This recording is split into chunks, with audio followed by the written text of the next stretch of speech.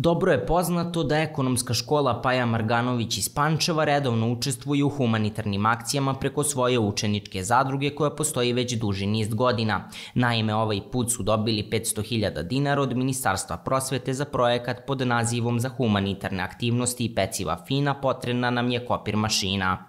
Pa učeničke zadruge su baš jedan, da kažem, da ga pohvalim kao jedan izvrstan projekat koje naše ministarstvo je uvelo i naša škola ima osnovnu zadrugu već nekoliko godina. Ja sam predsednica Skupštine zadruge naše učeničke, a imamo znači sve one aktivnosti kao da je jedno preduzeće u pitanju i to je veoma značajno da se kod ljudi, kod učenika pre svega razvije ta humanitar, humanost, zatim da se empatija razvije kod njih, zatim preduzetnički duh i slično. I uglavnom sredstva koja mi zaradimo od učeničke zadruge odlaze u humanitarne fondove. Mi imamo tim za humanitarne aktivnosti i profesorka Sandra Popovski je vođa tog tima.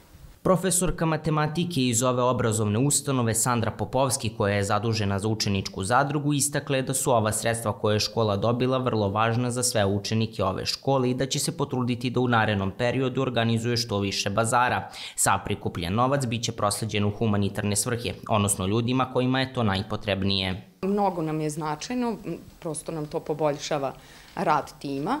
Uh, humanitarnog tima. Ja sam inače vođa tog tima, od skoro smo organizovali i sekciju učeničku humanitarnu i prosto ovaj novac što, zbog što preko projekata, što preko uopšte učeničke zadruge uh, koristimo za naše humanitarne akcije, humanitarne bazare i uopšte bilo kakve humanitarne aktivnosti na nivou grada, opštine koje se organizuju. Naša ideja je negde da što više kod dece razvijamo empatiju, da, da budu solidarni, tolerantni i tako i, kako da vam kažemo, onako deca to mnogo lepo su prihvatili i drago nam je zbog toga. Iz ove obrazovne ustanove poručuju da će se potruditi kao i do sada da organizuju što više humanitarnih akcija i da se nadiju da će uvek biti tu za sve kojima je pomoć najpotrebnija.